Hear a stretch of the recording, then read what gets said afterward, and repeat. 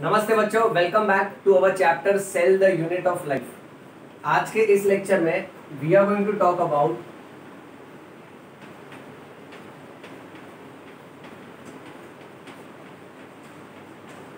cytoskeleton उसके बाद फिर हम बात करेंगे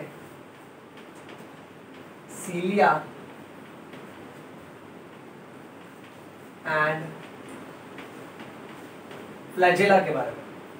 सो so, आज का हमारा मेन टॉपिक रहेगा cytoskeleton thereafter we are going to talk about cilia and flagella now we will start with this word cytoskeleton if we see the term cytoskeleton cyto का meaning is cell and skeleton का meaning is support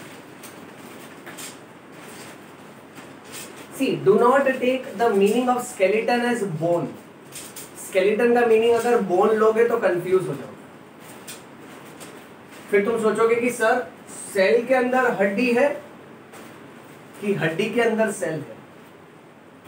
So skeleton does not mean bone skeleton means anything that gives you support which is acting as a supporting framework and which gives you protection also अब, यहाँ कहानी कुछ ऐसी है कि cell के अंदर ऐसे बहुत सारे स्ट्रक्चर्स हैं जो उसको अंदरूनी सपोर्ट देते हैं। अब उसको अंदरूनी सपोर्ट देने के लिए स्ट्रक्चर्स कौन से हैं? So for support there are number of और you can say network of fibrils जिस तरह से हमारे पूरे बॉडी के अंदर बहुत सारे बोन्स ओके okay, और कार्टिलेज है जो बॉडी को अंदर से सपोर्ट देते हैं। समझो ये तुम्हारे बोन्स निकाल लिए तो बॉडी कोलैप्स हो जाएगा। गिर जाएगा। तो ये बॉडी को अंदरूनी सपोर्ट देते हैं। उसी तरह से, समझो ये सेल है तो सेल के अंदर साइटोप्लाज्म में ऐसे बहुत सारे छोटे छोटे फाइबर्स होते हैं, जिसको फाइब्रिल्स बोलते हैं। और उनका नेटवर्क होता है, झुंड होता है। Such network of fibrils which are giving internal support to the cell is called as cytoskeleton वाह, क्या डेफिनेशन तैयार हो गई। अरे, ऐसे ही आसान होता है अपना बायो कॉन्सेप्ट बाय कॉन्सेप्ट याद रखते जाने का। अब, दूसरी बात यह है कि ये जो फाइब्रिल्स है, ये तीन तरह के होते हैं। इसमें एक फ़र्स्ट टाइप है माइक्रोटिब्यूल्स सेकेंड टाइप को बोलने का माइक्रोफिलामेंट्स और थर्ड टाइप को बोलते हैं intermediate filaments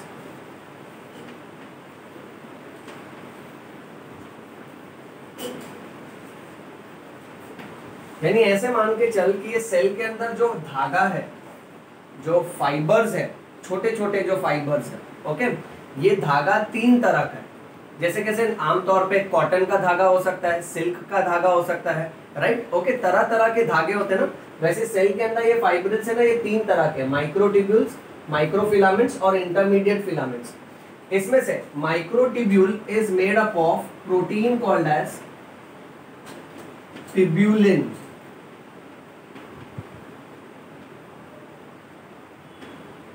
Microfilaments are made up of protein called as actin. And intermediate filaments are made up of fibrous protein. अब इसको भी कैसे याद रखें? ये तो बहुत इजी है। टिब्यूल्स तो टिब्यूलिन ये यहाँ खत्म हो जाएगा बेटा। ओके इसके लिए स्पेसिफिकली एक्टिन याद रखो और लास्ट वाले के लिए फाइब्रस प्रोटीन ओके अब ये सेल को अंदर से सपोर्ट देते हैं उसके अलावा और क्या काम करते हैं? तो so, इसका और क्या फ़ंक्शन है?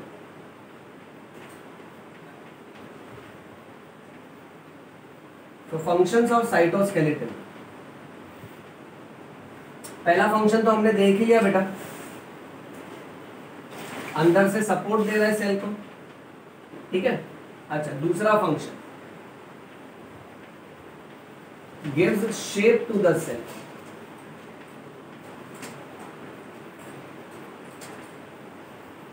cell को प्रॉपर शेप देता है ना? हमारे बॉडी का भी प्रॉपर शेप है क्योंकि अंदर से हड्डियों का ढांचा है। There is a framework of skeleton okay so उसी तरह से it gives shape to the cell next function it is responsible for contraction and mobility of the cell so ये कॉन्ट्रैक्शन भी करवाता है और मोबिलिटी भी करवाता है okay mobility not only of cell but of cell organelles also यानी cell का भी करवाएगा और सेल के जो ऑर्गेनल्स हैं, उसका भी कॉन्ट्रैक्शन और मोबिलिटी मोबिलिटी यानी मूवमेंट करवाएगा बेटा। अच्छा और तो और it is also playing very important role during the process of cell division अब सेल डिवीज़न में माइक्रोटिब्यूल्स ओके इसी की बदौलत स्पिंडल फाइबर्स बनता है, जिसकी वजह से क्रोमोसोम से सेपरेट होते हैं बेटा। ओके तो ये है बेसिक फ़ंक्शंस ऑफ़ साइटोस्केलेटन इस सेक्शन में तुमको इतना ही याद रखना है बेटा, बहुत ही आसान सा टॉपिक है। चलिए, अब आगे बढ़ते हैं हम लोग सीलिया और फ्लैजिला की तरफ़। सीलिया और फ्लैजिला ये दोनों में हमको एक बात याद रखना है कि ये दोनों भी ना हेयर लाइक स्ट्रक्चर है। तो समझो फॉर एग्जांपल कोई भी सेल अगर हम लोग मान के चले ओके उस सेल में से जो भी हेयर लाइक स्ट्रक्चर निकल रहा है, समझो ये।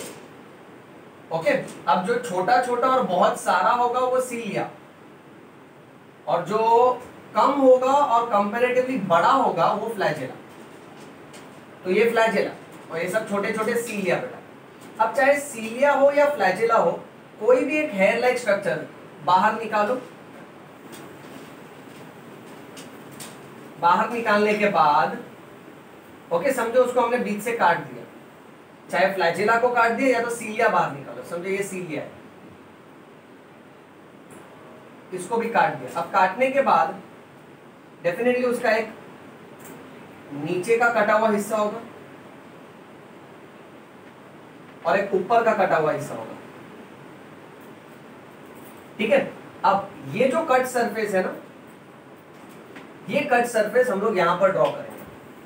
जिसको हम बोलेंगे internal structure of cilia and flagella अब इंटरनल स्ट्रक्चर ऑफ़ सीलिया और फ्लैजिला में देखा गया है कि ये जो बाहर वाला सर्कल है, ये इसका कवरिंग है। इसको हम बोलेंगे प्लाज्मा मेम्ब्रेन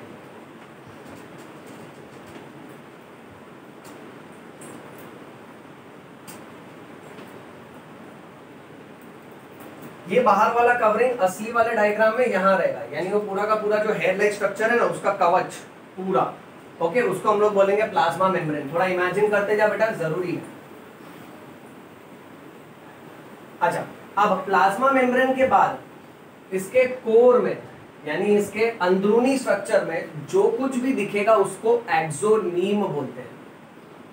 मैं लिखवाऊँगा थोड़ी देर में नोट्स अभी सुन ले ध्यान से। स्ट्रक्चर को समझ ले। उसको एक्सोनीम बोलते हैं। अब इस एक्सोनीम में ये देखा गया है साइंटिस्ट ने कि बीचों बीच में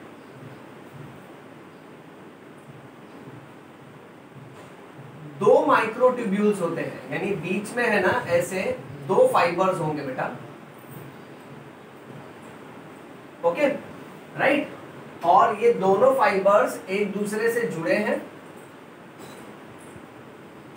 और इनके आजू बाजू में जो कवरिंग है, उसको बोलेंगे सेंट्रल शीट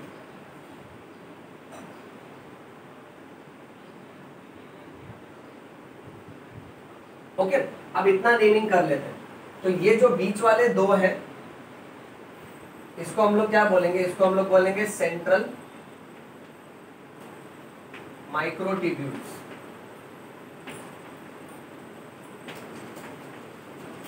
ओके, और इसके आजू बाजू में जो कवरिंग बनाया है that is called as central sheath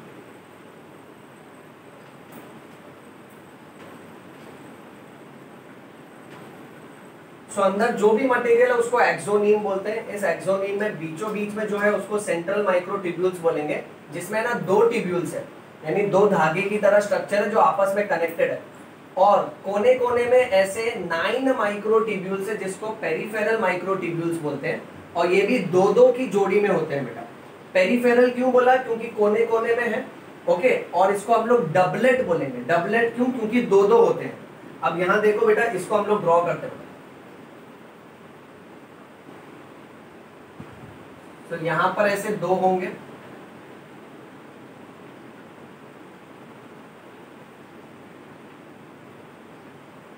यहाँ पर ऐसे दो है।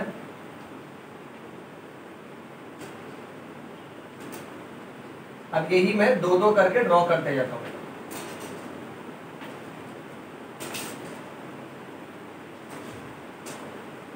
कितने हुए? देखो, एक, दो, तीन, चार, पाँच छ सात हुए ना? नौ बनाना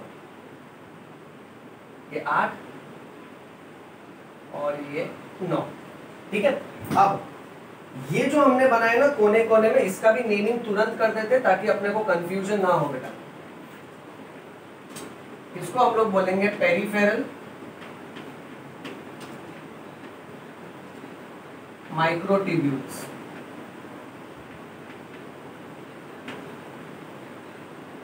ओके और ये पेरिफेरल माइक्रोटिब्यूल भी डबलेट है, यानी दो दो के जोड़ी में है बेटा। अब, दूसरी बात ये है कि ये सब के सब एक दूसरे से जुड़े हैं, यहाँ देखो।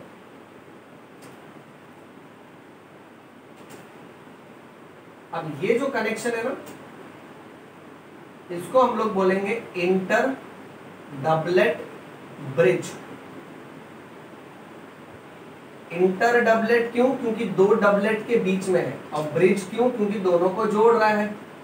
Okay so this is called as inter doublet bridge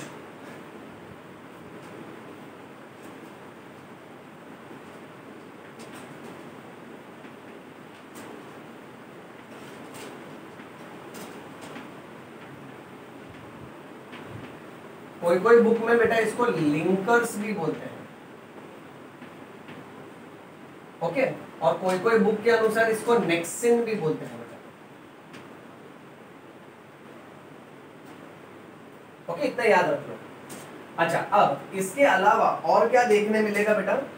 अंदर की तरफ़, हर पेरिफेरल डबलेट से अंदर की तरफ़ एक कनेक्शन आता है बेटा, जिसको बोलते हैं रेडियल स्पोक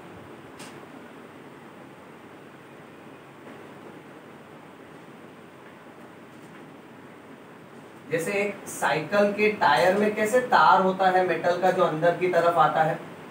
वैसे यहाँ पे सब कुछ अंदर की तरफ़ आ रहा है।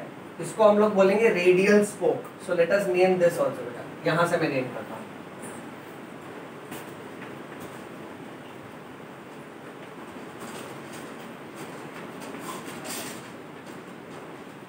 ओके राइट अच्छा अब इसके अलावा हर एक डबलेट में से पेरिफेरल डबलेट में से okay what you will find is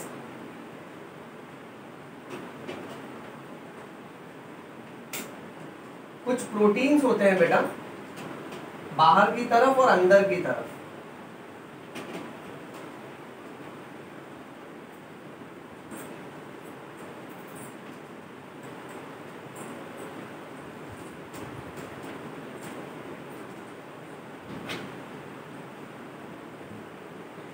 तो इसको इस पैटर्न से ड्रॉ करना होगा। ऐसे दो बाहर की तरफ़ दिखाओ और तीन अंदर की तरफ़।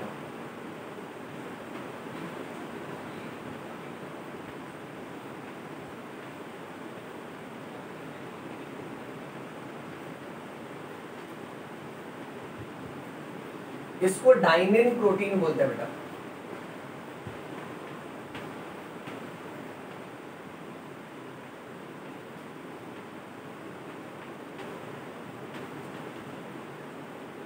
Also call it as dynein arm okay right बेटा? सो ये है diagram which is showing the cut section of cilia and flagella चाहे एक छोटा सा सीलिया हो या बड़ा सा फ्लैजेला हो उसको अगर काटोगे तो उसका जो कट सरफेस है ये ये पूरा का पूरा ना इस तरीके से दिखेगा बेटा। ओके अब ये तो हो गया इसका डायग्राम वाला अंडरस्टैंडिंग अब हम लोग इसका थियरी समझ लेते हैं बेटा एक एक करके। तो so, पहला पॉइंट हमको ये याद रखना है कि जब भी मैं सीलिया वर्ड इस्तेमाल करता हूँ ना तो सीलिया का मतलब होता है बहुत सारा। ओके यानी मैनी सो बहुत सारा रहेगा तो सीलिया बोलूँगा। और जब मैं एक ही रहेगा ना तो मैं उसको सीलियम बोलूँगा। सो ये सिंगुलर और प्लूरल हो गया। एक वचन, अनेक वचन, बहुवचन सास वचन ससुर वचन छोड़ो वो सब, ये इंग्लिश ग्रामर है। ग्रामर जामर ओके सिर्फ़ बायो पे ध्यान दो। एक रहा तो सीलियम बहुत सारा रहा तो सीलिया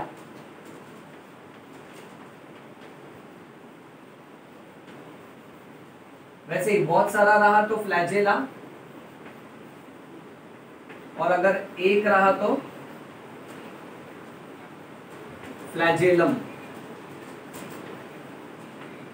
ठीक है बेटा?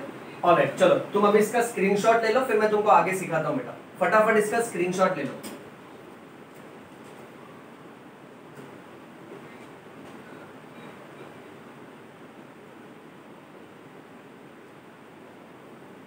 लिया बेटा? ओके आगे बढ़ते बेटा मैं ये वाला पार्ट रब कर देता हूँ डायग्राम वाला पार्ट रहने देता हूँ, क्योंकि वो अपने को थियरी में काम आएगा।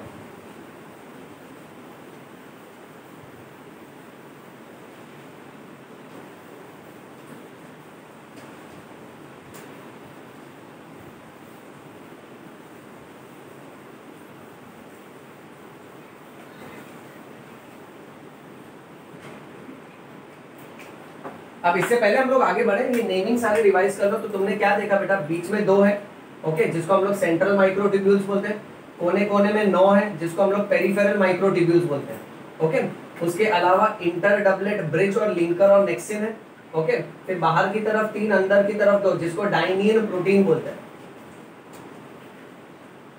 डाइनिन प्रोटीन ये स्पेलिंग थोड़ा उल्टा है बेटा ओके हाँ डाइनिन प्रोटीन बोलते हैं अच्छा पेरिफेरल माइक्रोट्यूब्यूल भी चाहिए तो एक, एक और एक्स्ट्रा पॉइंट ये याद रख सकते हो कि हर माइक्रोट्यूब्यूल को tubule A and tubule B बोलते हैं। यानी इसको ए ये बी फिर ए और बी चाहिए तो मैं अंदर लिख देता हूँ ये ए और ये बी ए बी ऐसा सबका नाम रखा है। So this is tubulin A this is tubulin B okay and so on right अच्छा अब इसका थियरी पिकअप करते हैं। सीलिया और फ्लैजेला का ग्रामर हमने देख लिया। अब सीलिया और फ्लैजेला में फ़र्क क्या है? तो पहला फ़र्क ये है कि सीलिया कैसे रहता है? सीलिया छोटा छोटा रहता है और बहुत सारा रहता है। और फ्लैजेला कैसा है बेटा? फ्लैजेला कंपेरेटिवली बड़ा रहेगा। और फ्लैजेला बहुत कम होता है नंबर में। ओके राइट तो ये अच्छे से याद रखो। अच्छा दूसरी बात। दोनों भी सीलिया और flagella both are hair like structures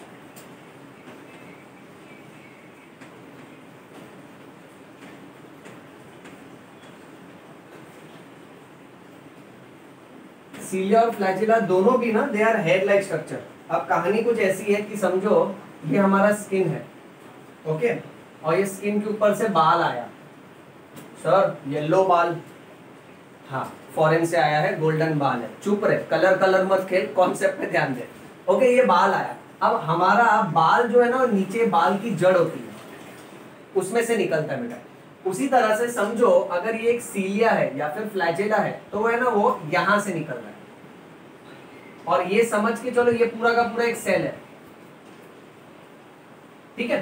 तो ये सीलिया और फ्लैजेला ना नीचे से जहाँ से निकलता है ना, उसको बोलते हैं बेजल बॉडी बहुत इंपॉर्टेंट पॉइंट है, यहाँ लिख देते हैं। So both are hair like structures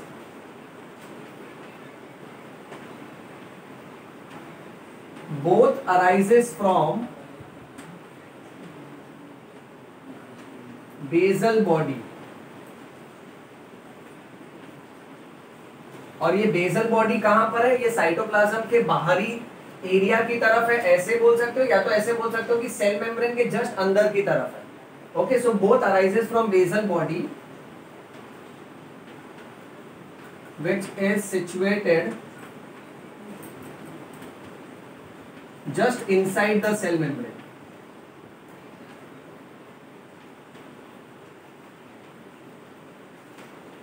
So we can say it is situated just inside the cell membrane or you can say it is present on the outer part of the cytoplasm. Okay. Next, ये जो basal body है ना it is derived from centriole. बहुत important MCQ है. Basal body is derived from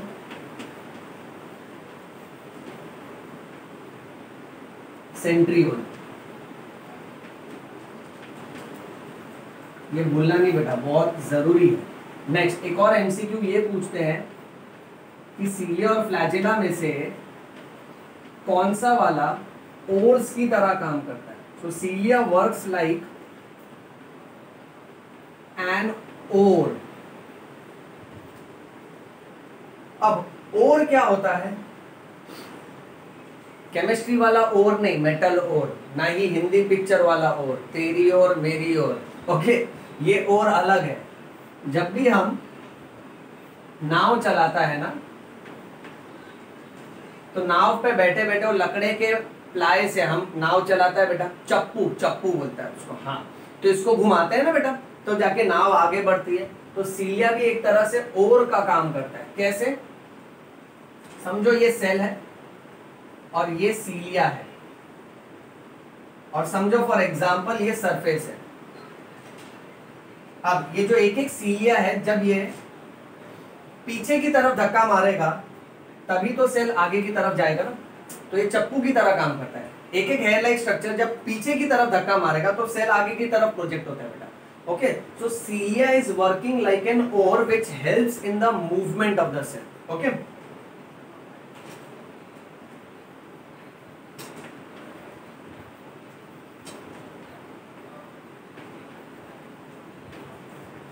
which helps in the movement of the cell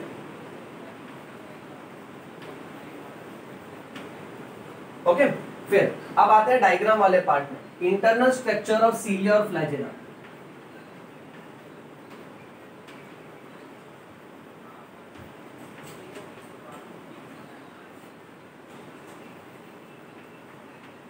internal structure of cilia and flagella shows outer plasma membrane.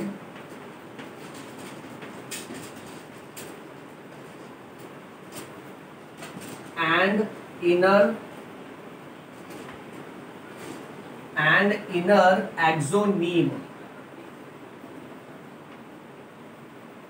which is also called as the core of cilia and flagella core यानी उसका बीच वाला हिस्सा। Okay right so बाहर की तरफ़ plasma membrane है और अंदर की तरफ़ एक्सोनीम है। इसका स्क्रीनशॉट ले लो बेटा।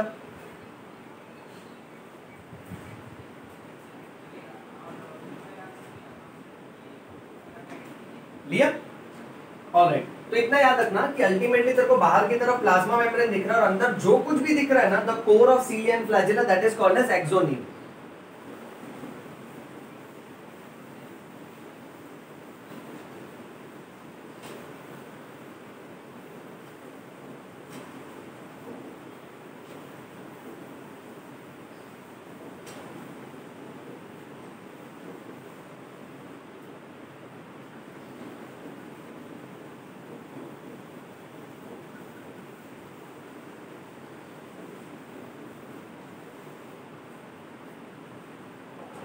अब एक्सोनीम में तेरे को क्या क्या दिखा? बेसिकली बेटा what you find is nine doublet और बीच में दो फाइबर ओके सो इसको हम लोग बोलेंगे नाइन प्लस टू अरेंजमेंट अब ध्यान से देखते जा पे सो नेक्स्ट पॉइंट से axoneme consist of two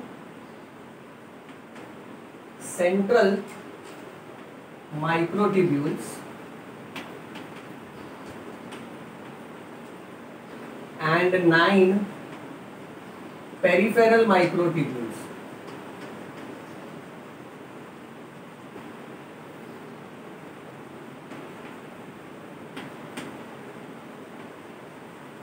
बार बारो बेटा? दो बीच में है और नाइन आजू बाजू में है। फिर हर नाइन में से एक एक सेक्शन देखेंगे तो डबलेट है, उसमें दो है। वो डिस्क्राइब करते बेटा। सो दो सेंट्रल और नाइन पेरिफेरल माइक्रोट्यूब्यूल्स इस अरेंजमेंट को हम लोग बोलते हैं nine plus two arrangement this is called as nine plus two arrangement very very very important point cilia और flagella shows nine plus two arrangement यानी आजू बाजू में ऐसे नाइन फाइबर्स हैं और बीच में दो फाइबर्स हैं। अच्छा ये पूरा का पूरा कट सरफेस है। इसको हटाते हैं, इसको सुला देते हैं वापस। ओके जब इसको सुला देंगे तो ये सीलिया और फ्लैजेला का जो लोअर कट सरफेस है, उसका ये वाला पार्ट है बेटा। बराबर है? यानी ये यहाँ पर है। सो बीच में ऐसे दो फाइबर्स है और यहाँ पर ऐसे नाइन डबलेट्स है बेटा। ओके और ये जो दो, तू ऊपर से सर्कल देख रहा है ना, ये पूरे फाइबर्स है बेटा, नीचे तक जाते हैं। ओके और नाइन डबलेट्स भी नीचे तक जाते हैं। और ये साथ में वेव करते हैं बेटा, जिसके मदद से सीलिया और फ्लैजेला लोकोमोशन में हेल्प करता है बेटा।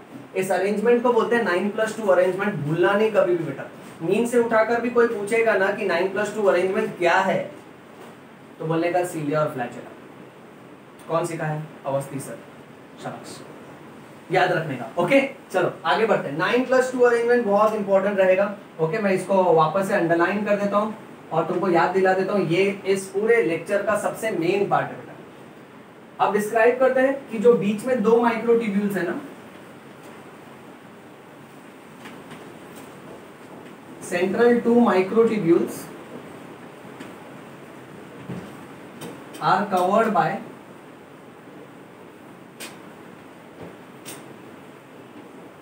central sheath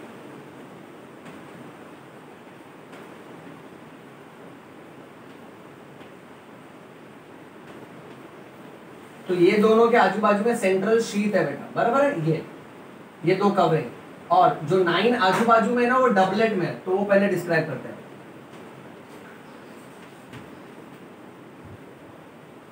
Peripheral microtubules are doublet doublet यानी दो दो है बेटा। And they are radially arranged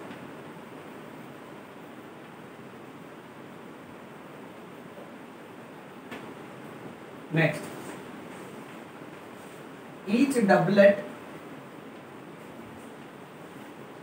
is connected to another doublet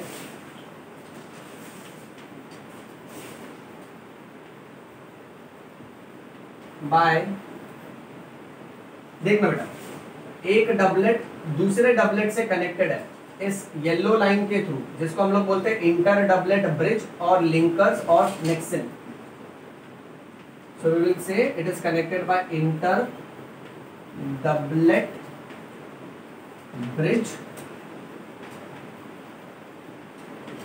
और लिंकर्स और nexin next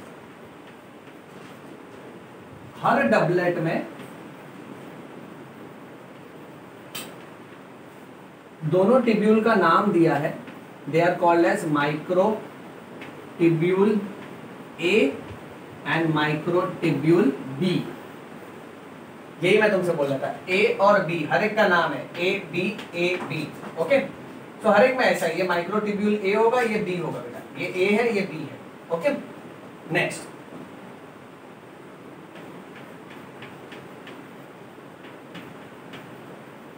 peripheral doublet is connected to the central sheath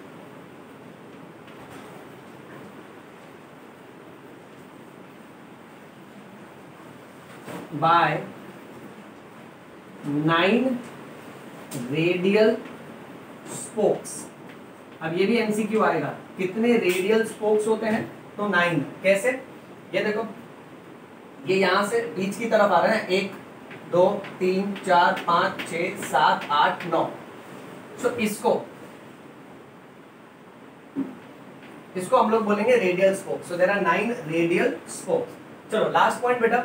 her microtubule से we find this dynein protein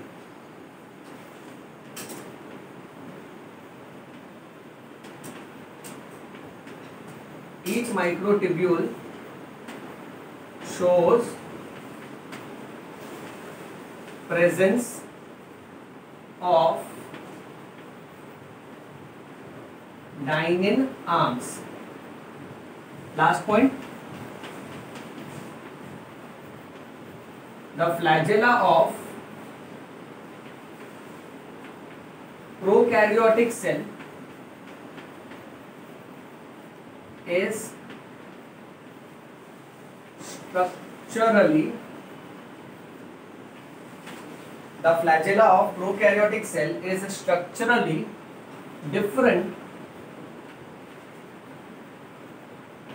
from the flagella of eukaryotic cell बराबर है ना बेटा prokaryotic cell पुराना है। Eukaryotic cell आज का है एडवांस्ड सेल है। अब पुराने जमाने का टेलीविज़न का जो रिमोट होगा, वो अलग होगा। आज के जमाने के टेलीविज़न का रिमोट अलग होगा। पुराने जमाने का टेलीविज़न के बटन्स अलग है। आज के जमाने के टेलीविज़न के बटन्स अलग है।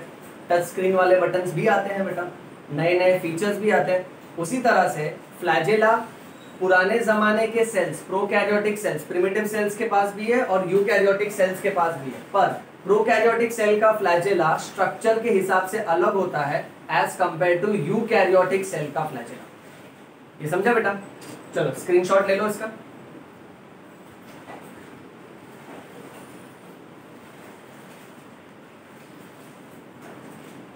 क्लियर ऑलराइट बच्चों। सो ये था हमारा आज का लेक्चर जहाँ हमने बात किया साइटोस्केलेटन के बारे में।